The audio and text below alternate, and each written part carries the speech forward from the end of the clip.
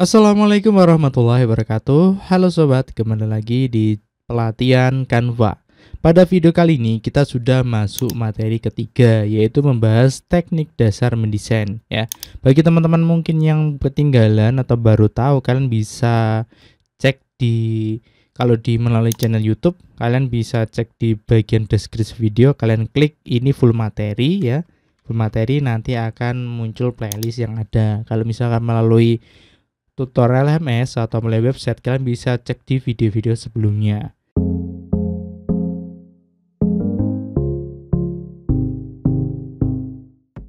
Oke, langsung aja. Untuk kali ini yang kita bahas yaitu pertama teknik dasar mendesain. Tentu bagi teman-teman yang mau mendesain di Canva atau bagi pemula atau yang benar-benar baru belajar bingung ini cara desainnya gimana. Sebenarnya di Canva itu ada beberapa teknik sih yang menurut saya ya, tapi setiap orang mungkin beda.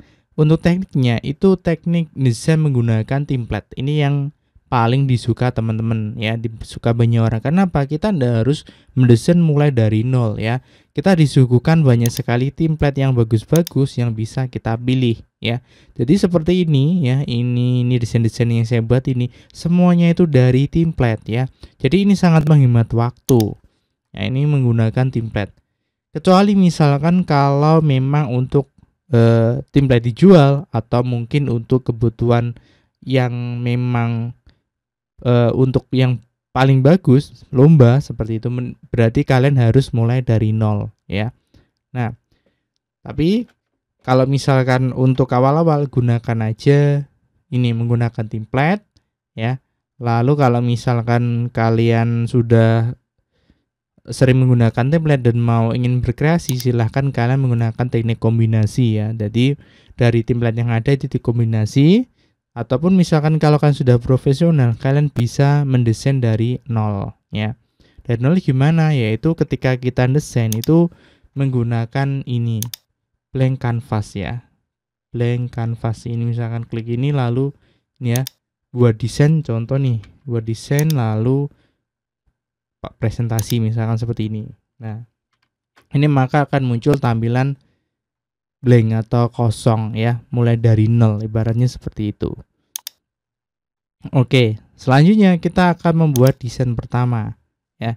Desain pertama buat apa nih ya? Oke, e, caranya gimana? Yang pertama, untuk membuat desain pertama kita harus memilih ukuran desain ya.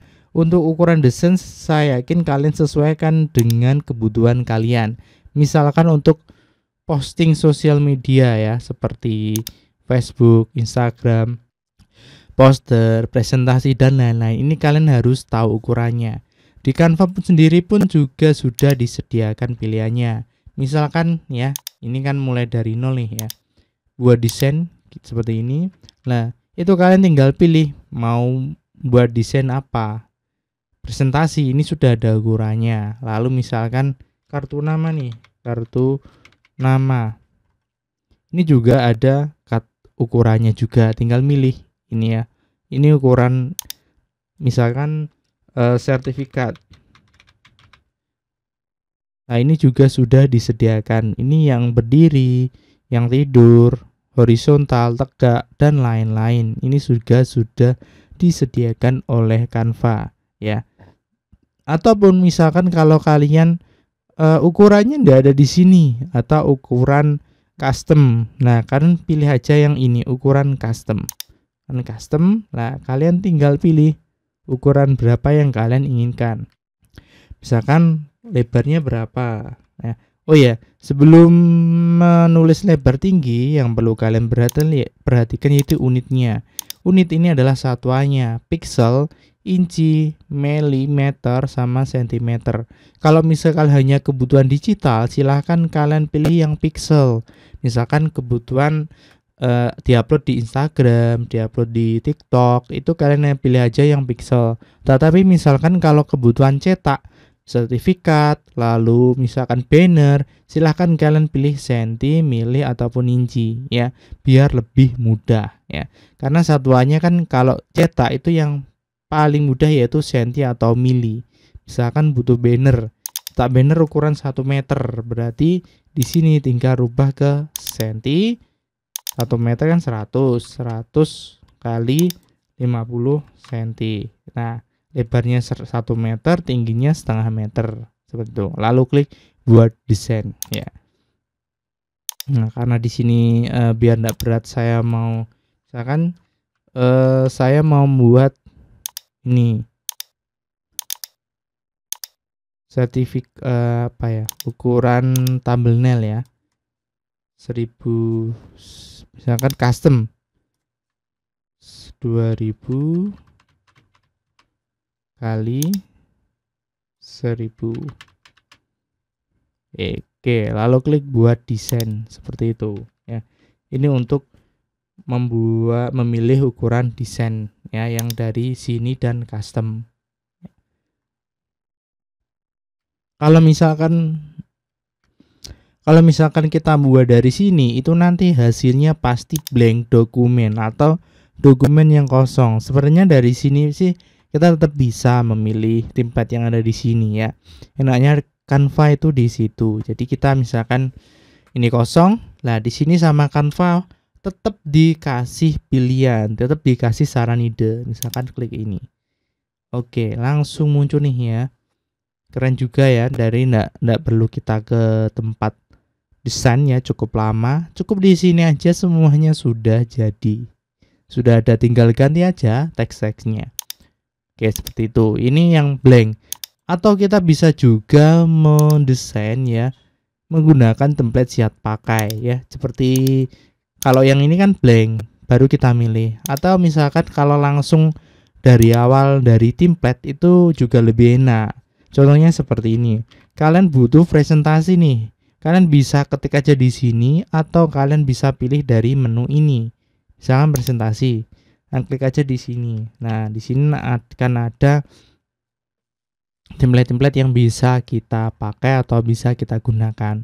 Tapi kalau misalkan lebih enak lagi, ya di sini enaknya itu kita bisa memilih beberapa jenis. Misalkan presentasi ukuran 16 banding 9 untuk presentasi untuk ukuran HP atau presentasi ukuran nama ya dan lain-lain. Kalau media sosial misalkan di sini kalian pilih Instagram ya, pilih tinggal ini. Kalau misalkan kalian udah hafal ukur ukuran Instagram, Facebook atau yang lain ya, kalian bisa klik ini untuk melihat-lihat sesuai dengan sosial media yang kalian inginkan ya. Di sini ada banyak sekali ya pilihannya. Kalian sesuaikan aja. Video juga gitu ya, video juga ada beberapa pilihan mau TikTok, Facebook, video full, YouTube. Nah, itu ada, tinggal kalian pilih-pilih aja. Produk cetak juga sama ya.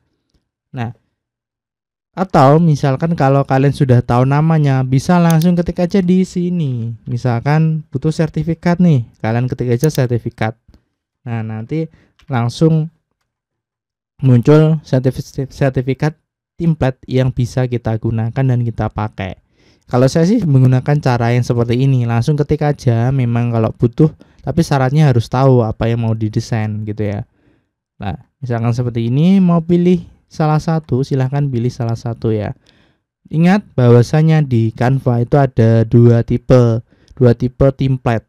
Template yang free bisa digunakan oleh siapa saja, seperti ini, tidak ada pada bagian kanan bawah itu tidak ada label apa-apa atau Canva yang Pro atau Edu ya. Nah, kalau yang ada labelnya seperti ini, kalian hanya bisa memakainya jika kalian menggunakan Canva Pro atau Edu ya. Kalau kalian guru atau siswa, kalian bisa menggunakan Canva Edu seperti saya ini ya.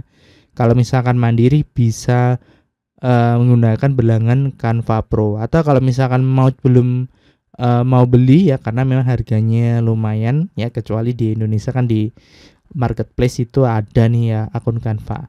Kalian gunakan aja yang free seperti ini tidak ada labelnya. Tinggal kalian klik aja seperti ini. Maka muncul seperti ini klik sesuaikan template ini maka akan menuju ke halaman editing di Canva. Seperti ini. Nah, untuk elemennya uh, untuk elemen di sini kemarin sudah dibahas sebagian yang nanti kita bahas secara mendalam satu persatu di bagian misalkan tag. Nanti ada video sendiri biar kalian nanti benar-benar bisa. Oke Kadang-kadang ketika kita sudah membuat desain ya, itu ada terjadi perubahan rencana, yaitu apa? Ternyata ukurannya tidak sesuai, maka dari itu kita perlu menyesuaikan ukuran Canva secara manual ya. Nah, untuk desain misalkan eh di sini yang di template ukurannya A4 nih, tapi ternyata di sertifikat kertasnya yang kita punya itu F4, maka dari itu kita perlu merubahnya. Karena apa? Kalau misalkan tidak kita rubah, nanti kita perlu memotongnya dan itu menambah pekerjaan kita ya. Nah, gimana cara merubah ukurannya? Caranya mudah, yaitu misalkan ini nih, sertifikat atau file yang mau dirubah ukurannya. Kalian klik ubah ukuran dan alih ajaib ya. Klik yang ini. Seperti ini. Nah, di sini silahkan kalian pilih uh, ukuran yang ingkal inginkan lihat semua misalkan seperti ini ya nah tetapi kalau misalkan tidak ada misalkan tidak ada yang ada di tidak ada pilihannya pilihan kalian tidak ada di sini.